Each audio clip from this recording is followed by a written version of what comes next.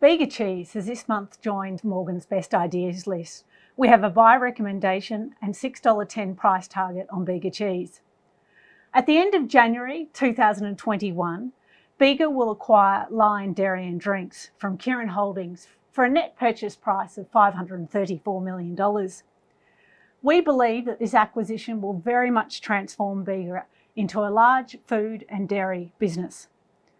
Bega, in fact, will become the second largest dairy processor in Australia, and its many food brands will command the number one or the number two uh, positions in their respective categories.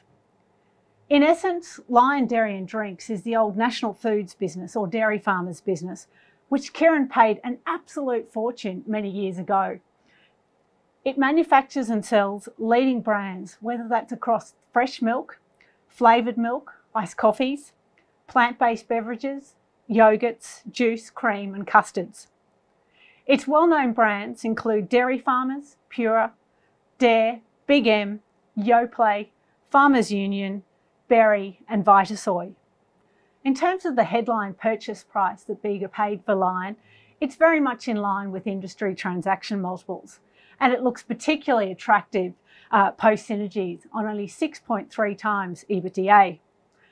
The synergies with this transaction are very material, and we think Bega should be able to achieve well in excess of its base case synergy target.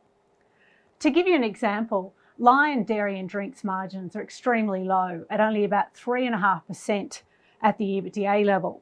Well, this compares to industry branded uh, margins or even Bega's own branded margins at 8.7%.